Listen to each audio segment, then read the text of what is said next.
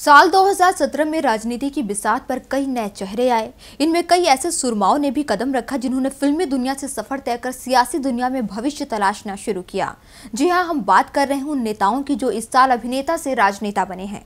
इस साल कई ऐसे बड़े सितारे राजनीति में शामिल हुए जिन्हें जनता अब तक एक्टिंग करते ही देखती आई है। दक्षिण की राजनीति में तहलका मचाने वाले रजनीकांत और कमल हासन हो, या फिर अपने गानों से धूम मचाने वाले पवन सिंह, इन दिग्गजों ने इसी साल नेताओं का चोला ओढ़कर सियासी जमी पर कदम रखा है। साल 2017 के आखिरी दिन तमिल सुपरस्टार रजनीकांत ने राजनीति में कदम रखकर सबको चौंका दिया। रजनीकांत को अब तक जनता एक अभिनेता के रूप में देखती आई थी, लेकिन अब नए साल में लोग उन्हें राजनेता के रूप में देखेंगे।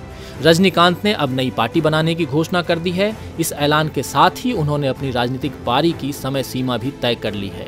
उन्होंने कहा कि अगर उम्मीदों पर खरा नहीं उतरा तो तीन साल में राजनीति से संन्यास तय है।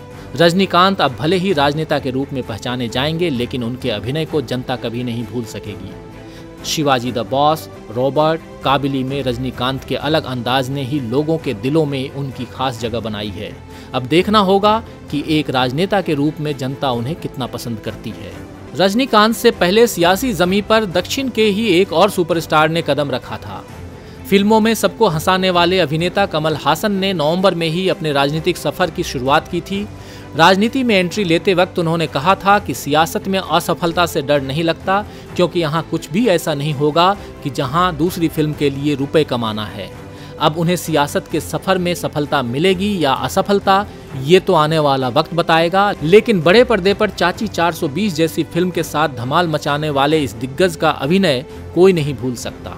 राजनीति में कदम रखने वाले कई सितारे ऐसे भी हैं जिन्होंने फिल्मी दुनिया में कदम तो बुलंदियों पर पहुँचने के लिए रखा था, लेकिन पहली फ़िल्म में चमकने से ज़्यादा वो माया नगरी में कुछ और खास कमाल नहीं कर पाए। जी हाँ, हम बात कर रहे हैं नब्बे के दशक में सुपर हिट हुई फ़िल्म आशिकी के हीरो राहुल रॉय की, जिनका सिक्का एक्टिंग में नहीं चला तो उन्होंने अब राजनीति में भविष्य तलाशना शुरू कर दिया है। लगावे लू जब लिपस्टिक गाना तो आप सभी ने सुना होगा। इनफैक्ट ये गाना अंतर्राष्ट्रीय स्तर पर भी मशहूर हो चुका है। इस गाने से अपनी पहचान बनाने वाले मशहूर अभिनेता पवन सिंह ने भी इसी साल सियासत में एंट्री मारी है।